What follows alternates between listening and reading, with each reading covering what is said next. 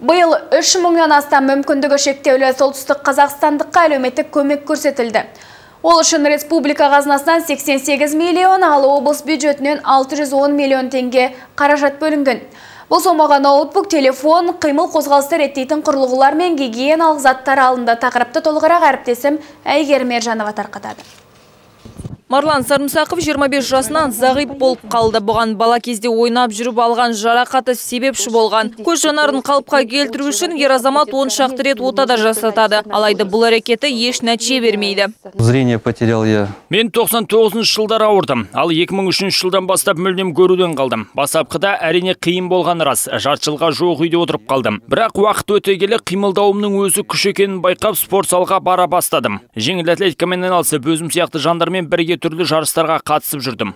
Марлан Сарымсақов түңілмеді, керісінше өзін өзі қайрап, алға қарай ұмтылды. Нәтижесінде спортқа бет бұрып, жетістіктерге қол жеткізді. Қазір ол жеңіл атлетикадан спорт шебері. Ал осыдан 11 жыл бұрын үйленіп отбасылы болды. Бүгінде ер азамат бір қыз бен бір ұлдың әкесі атанып отыр. Биыл Марлан Сарымсақовқа мемлекет тарапынан қолдау да көрсетілді. Жақында оған әлеуметтік қызметкерлер ноутбук табыстады. Бұл құрылғы мүмкіндіктері шектеулі жандарға арналған арнайы бағдарламамен қамтамасыз етілген.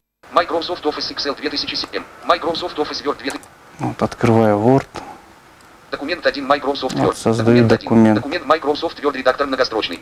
Lock включено. Изучение Брайля, это по азбуке. Мен Брайль әдісімен оқып жазуды үйрендім. Қазір компьютерді де меңгеріп алдым. Мәселе мына ноутбукта арнайы бағдарламалар бар. Сондықтан маған мұнымен жұмыс жасау оңай. Мен басқан әрбір перне дыбысталады. Қате жазылған сөз болса, ол туралы да хабарланып отырады. Мүгедек жандар үшін таптырмас құрал. Жалпы өңір бойынша мұндай әлеуметтік көмек 3 мыңнан астам солтүстік қазақстандыққа көрсетілген. Ол үшін облыс бюджетінен 600 миллион, ал ел қазынасынан 88 миллион теңге қаражат бөлініп отыр.